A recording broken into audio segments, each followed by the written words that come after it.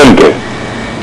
Προσπαθούμε να πούμε ότι είμαστε καλά. Μετά το, το μαύρο, το μουγκό, έτσι, αυτό που περάσαμε τις προηγούμενες μέρες για την uh, στήριξη υποτίθεται της uh, ΕΡΤ, κόπηκε και η δική μας φωνή. Ναι. Επανερχόμαστε και μπορούμε να πούμε ότι μιλάμε. Γιατί η ΕΡΤ δεν είναι δημοκρατία, έτσι δεν είναι; Ε, βέβαια, η ΕΡΤ ήταν ταυτισμένη με ένα καθεστώς αδιαφάνειας και διαφθοράς των τελευταίων 50 ετών. Για να μην πω των τελευταίων, τέλος πάντων, όσων ετών ήταν. Πώς ε, βλέπετε την ε, κατάσταση έτσι, που είστε και στην Αθήνα, τουλάχιστον είστε μέσα σε αυτό το κλίμα; Δεν ξέρω, είναι... Έχουν δημιουργήσει ένα θέμα με την ε, συνάντηση που είναι το βράδυ των πολιτικών αρχηγών που στηρίζουν την κυβέρνηση ότι ενδέχεται να οδηγήσει σε αδιέξοδο και ακόμη και σε εκλογές. Αυτό έχει δημιουργήσει υπερβαίουσα δημοσιογραφία. Έχει δημιουργήσει αυτό το κλίμα. Γι' αυτό το λόγο έσπασαν κάποιοι για τις απεργίες ούτως ή άλλως. Ναι, Για να ναι, ναι. δημιουργήσουν αυτό το κλίμα. Ναι, ναι. Τώρα, εγώ, αν θέλετε την προσωπική μου γνώμη του Βασίλη Λεβέντε τη γνώμη, δύσκολο να γίνουν εκλογές τώρα. Δηλαδή δεν συμφέρει καθόλου το... Ούτε το Σαμαρά τον ίδιο το συμφέρει. Ναι. Τον Βενιζέλο και τον Κουβέλη δεν το συζητάω, θα, χα- θα πάθουν στραπάτσο. Αλλά και το Σαμαρά που υποτίθεται ότι μπορεί να ανέβει ένα, δύο, τρεις πόντους, και αυτός τι να το κάνει που θα ανέβει. Θα κερδίσει, ξέρω εγώ, 8 βουλευτές, 10 παραπάνω. Και μετά από πού θα βρει τους υπόλοιπους. Στη Χρυσή Αυγή. Δεν, δεν το θεωρώ αυτό λογικό. Ναι. Δεν το θεωρώ λογικό. Δηλαδή θα έχουμε ίσως και εκλογές διπλές και τριπλές. Έτσι βλέπω εγώ. Δηλαδή ως ότι το πάνε στον απόλυτο εκβιασμό και υποχρεώσουν τον ελληνικό λαό να ψηφίσει ή ΣΥΡΙΖΑ ή Σαμαρά. Αυτοί εκεί το πάνε. Το πάνε στην, εδώ και καιρό διαπιστώνω και στη Θεσσαλονίκη που ήρθε ο Σαμαράς και μίλησε και μετά στο Ναύπλιο προχθές και λοιπά. Διαπιστώνω ότι ασχολείται μόνο με το ΣΥΡΙΖΑ. Και ο ΣΥΡΙΖΑ κάνει τη σημερινή συγκέντρωση στο Σύνταγμα για να ασχοληθεί μόνο με το Σαμαρά. Δηλαδή δεν υπάρχουν άλλοι. Υπάρχει μόνο ΣΥΡΙΖΑ από τη μια μεριά και Σαμαράς από την άλλη. Εκεί το πάνε. Και είναι ικανοί να κάνουν και δεύτερες εκλογές και τρίτες προκειμένου να μηδενίσουν όλους και το κουκουέ ακόμη και ό, όλους να τους πετάξουν έξω από τη Βουλή. Να μιλάμε δηλαδή για τον απόλυτο δικοματισμό. Ε, αυτό βλέπω. Εκεί τα επιτελεία, δηλαδή το χρήμα, τα κανάλια προς εκείνη την κατεύθυνση λειτουργούν. Δεν υπάρχει τίποτα άλλο, υπάρχει μόνο Νέα Δημοκρατία και ΣΥΡΙΖΑ. Ναι. Εκεί πάει η δουλειά. Τώρα ε, νομίζω ότι επαναλαμβάνω λίγο δεν του συμφέρει με ποια έννοια; Ότι δε, ε, αν, στις πρώτες εκλογές αν γίνουν τον Ιούλιο αν τελικά τρελαθούν και οδηγήσουν τη χώρα σε εκλογές το αποτέλεσμα θα είναι μηδέν. Δηλαδή δεν θα... Η μόνη λύση για να σχηματιστεί η κυβέρνηση είναι ο Σαμαράς με τη Χρυ- Χρυσή Αυγή που είναι πολύ πιο τρελό από το, αυτή την κυβέρνηση που έχουμε. Αυτή η κυβέρνηση που έχουμε τουλάχιστον στέκει στη λογική. Δεν οδηγεί στην απόλυτη ανισορροπία. Το να πάει να κάνει κυβέρνηση με τους φασίστες, αυτό θα είναι το απόλυτο άνοιγμα των πυλών του τρελοκομείου. Ναι. Έτσι είναι. Είναι αδιέξοδο είναι. Αδιέξοδο. Νομίζω λοιπόν ότι πρέπει ο, Σα- ο Βενιζέλος και ο Κουβέλης να ηρεμήσουν, να μην θέτουν θέμα κυβέρνησης, ο Δε Σαμαράς να ανοίξει την ΕΡΤ, ε, έστω τη νέα ΕΡΤ, πολύ γρήγορα, σε πέντε μέρες ας πούμε, έξι να την έχει ανοίξει. Με ένα ολιγοπρόσωπο σχήμα, αρχικός, τουλάχιστον μία συχνότητα, μία συχνότητα, δεν χρειάζεται να ανοίξουν τρεις, μία συχνότητα να ανοίξει. Αυτή τη λύση βλέπω σαν μόνη μέση λύση.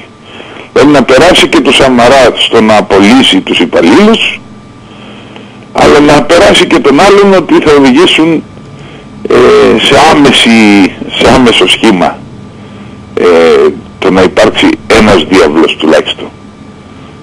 που θα λειτουργήσει αμέσως. Μια, αυτή η λύση είναι η μέση και η έσκατη, κυρία Χριστίνα. Αν δεν υπάρξει αυτό, υπάρχουν οι εκλογές. Αν δεν υπάρξει αυτό, υπάρχουν οι εκλογές. Δυστυχώς, δεν ξέρω το αυτό το πράγμα. Να γίνουν εκλογές τώρα για την ΑΡΤ, εδώ έχει χάσει 1,5 εκατομμύριο κόσμος στον ιδιωτικό τομέα έχει χάσει τη δουλειά του και δεν άνοιξε μύτη. Φυσικά. Και τώρα για 2.000 άτομα, όσος σπουδαία και να είναι τα άτομα αυτά, η χώρα δεν αντέχει εκλογές. Και εκλογές στις οποίες είναι σίγουρο όπως σας τις περιέγραψα που δεν θα βγει τίποτε.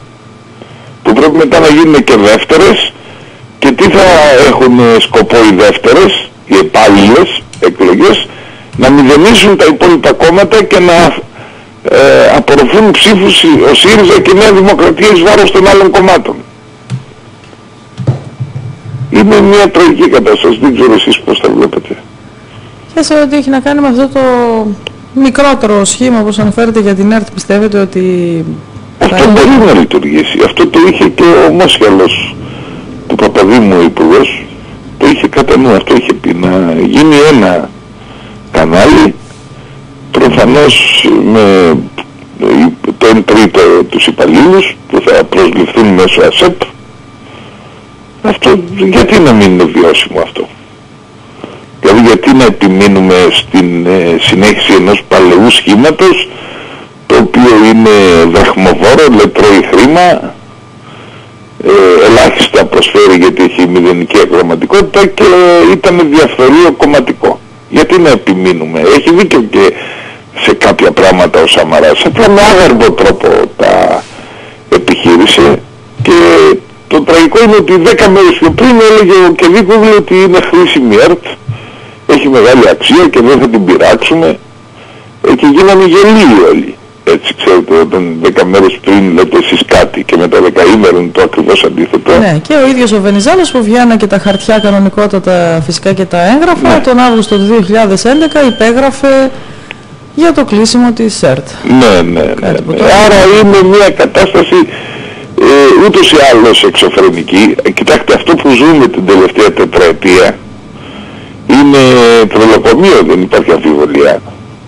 Δεν ισχύουν κανόνες, δεν ισχύουν νόμοι, ε, ξεπερνούνται στις απολύσεις ε, ε, εργατικές νομοθεσίες, καταλήξαμε ε, στις ε, επιχειρησιακές συμβάσεις, δηλαδή όπου σε βρει ο εργοδότης και όπου τον βρεις εσύ, δεν υπάρχουν ε, δεν υπάρχει τίποτα. Ε, τα κατάπιαμε όλα. Όλα τα κατάπιαμε, ουσιαστικά σαν κοινωνία ξεκινάμε σχεδόν από την αρχή, από το μηδέν. Το μόνο που οι συνταξιούχοι παίρνουν ακόμη τις συντάξεις τους και ορισμένοι βολεμένοι παλαιού τύπου συνεχίζουν ακόμη και παίρνουν τους μισθούς τους μειωμένους κατά ένα 30%. Αυτό είναι η Ελλάδα αυτή τη στιγμή. Οι δε νέοι είναι για να φεύγουνε. Οι νέοι mm. αυτής της χώρας είναι με μηδέν ορίζοντα. Με μηδέν ορίζοντα. Οι επιχειρήσεις ακόμη χειρότερα. Αρνητικό ορίζοντα. Μιλούν περί για ανάπτυξη, εδώ νεκροταφείο συναντάμε καθημερινά. Τι ανάπτυξη. Δεν υπάρχει ανάπτυξη. Επομένως αυτή τη στιγμή μην προσθέσουμε και την αστάθεια. Και εκείνο που φοβάμαι εγώ είναι ότι ο κόσμος δεν ξέρει τι να ψηφίσει. Λέει το Σαμαρά δεν τον θέλει γιατί και αυτός μισθούς και συντάξεις κόβει και φο... βάζει φόρους. Τον Τζίπρα δεν τον εμπιστεύεται κανένας. Άλλο πρόσαλος, αντιφάσκει, άλλα λέει το πρωί, άλλα το βράδυ. Χρυσές Αυγές είναι φασίστες αυτοί. Αυτοί είναι επικίνδυνοι άνθρωποι. Αυτοί πάνε λαού λαού να ανεβάσουν τα ποσοστά τους ώστε να φέρουν πρώτο τελεσμένο στη λεωφόρο της βίας και των δολοφονιών την Ελλάδα. Είναι... πρέπει να προσέξει ο κόσμος. Κόμματα σαν την Κουβέλη, του Κουκουέ και τα λοιπά είναι σαν τους παλαιομερολογίτες που μόνο με ρίβιο στα λάφυρα της εξουσίας ζητούν, τίποτα άλλο. Ένα κόμμα σαν την Ένωση Κεντρών έχει τη δύναμη ο λαός να το ψηφίσει. Όταν δεν θα το βλέπεις στις τηλεοράσεις, όταν όλοι θα το κόβουν, όταν...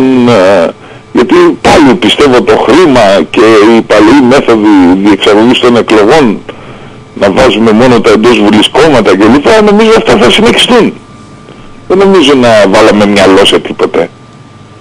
Έτσι ακριβώς. Γι' αυτό βγαίνουν Άρα, έτσι, άρα φρονώ ότι καλύτερα να μέναμε λίγο τούτοι εδώ ακόμη ε, στην προσπάθεια, ξέρω εγώ, να, όχι, όχι να λύσει το πρόβλημα να κάνει ανάπτυξη ο Σαμαράς, αυτά είναι τρέλες. Απλά στην προσπάθεια να ε, έρθει η ώρα μιας οικουμενικής κυβέρνησης λίγο πιο σοβαρής. Γιατί εγώ πιστεύω ότι εκεί θα καταλήξουμε, θα τα βρει μπροστά του και να μην γίνουν εκλογές, θα τα βρει μπροστά του μπαστούνια ο Σαμαράς και θα παραδώσει όπως ο Γιώργος Παπανδρέου, την ίδια τύχη θα έχει. Θα ανέβει στον πρόεδρο της Δημοκρατίας μια ωραία πρωία και θα παραιτηθεί. Και τότε θα πρέπει να σχηματιστεί μια κυβέρνηση τεχνοκρατών. Εκεί προσβλέπω, αν είχαμε οριμότητα αυτό έπρεπε να κάνουμε σήμερα, χωρίς εκλογές, μια κυβέρνηση τεχνοκρατών που ακόμη και το ΣΥΡΙΖΑ να συμμετάσχει να τη στηρίξει αυτή την κυβέρνηση. Με λίγους υπουργούς, 6-7 υπουργούς και με μόνη εντολή τη διάσωση της οικονομίας. Αν φεύγανε οι κομματικές ταμπέλες, οι ετικέτες οι ηλικιότητες των κομμάτων αυτό θα ήταν η ιδέουσα λύση. Αλλά πού να βρουν δύναμη να αποφύγουν τους εγωισμούς τους και τα κόμπλεξ τους οι πολιτικοί στην Ελλάδα; Δεν το, το βλέπω δύσκολο. Άρα θα έχουμε ακόμη ένα στάδιο που πρέπει να φάνε χαστούκια να, η πολιτική. Πρέπει να πέσει κι άλλο στο ναδύρ ε, το επίπεδο της δημοσίας ζωής να ξεφτυλιστούν τελείως ώστε στο τέλος να αναγκαστούν εκ των πραγμάτων να κάνουν αυτό που σας λέγω, που θα είναι και η λύση. Mm. Γιατί και στην Ιταλία κάνανε εκλογές και το μόνο που συνέβη από τις εκλογές που κάνανε, η ίδια κυβέρνηση παρέμεινε, απλά άλλαξε ο Μόντι και μπήκε ο Λέτα. Δηλαδή ε, πάλι τα ίδια κόμματα κάναν κυβέρνηση στην Ιταλία. Ίσως είδα αυτό είναι και το σχέδιο για σήμερα τέλος πάντων. Δηλαδή ένας τρελός Μπερλουσκόνη οδήγησε τη χώρα σε εκλογές στην Ιταλία και δεν άλλαξε τίποτα απολύτως. Η ίδια κυβέρνηση σε λίγο παρέμεινε, τα ίδια κόμματα τη στηρίζουν, απλά η τρέλα του Μπερλουσκόνη ας πούμε που δύο μήνες η Ιταλία ε, καταβαραθρώθηκε στον αστερισμό των εκλογών και εκλογών χωρίς αξία, χωρίς νόημα που έλειπαν οι προτάσεις και το μόνο που υπήρξαν είναι αντιδικίες και διαξυφισμοί μεταξύ των κομμάτων. Mm. Λοιπόν αυτή είναι η εικόνα, να κάνουμε λίγες ώρες υπομονή φρονώ ότι δεν θα γίνουν εκλογές, η δική μου πρόβλεψη δεν θα γίνουν εκλογές και θα βρεθεί η μέση λύση που σας εξήγησα. Δηλαδή θα ανοίξει αμέσως ε, ένας διάβλος δημόσιας τηλεόρασης και θα αρχίσει η διαδικασία προσλήψεων στις οποίες θα μπορούν να μετάσχουν και οι παλαιοί της ΕΡΤ αλλά και άλλοι τεχνικοί και δημοσιογράφοι ε, για να υπάρξει να λειτουργήσει ένας διάβλος και να λήξει εδώ η παρεξήγηση. Από τη στιγμή που δεν συμφέρει κανέναν θα υποχωρήσουν σίγουρα οι εταίροι της κυβέρνησης. Να είστε καλά κύριε Λεβέντη. Καλημέρα σας κύριε Χριστίνα σε όλους και στον κύριο Βαγγέλη, το φίλο μου και σε όλους.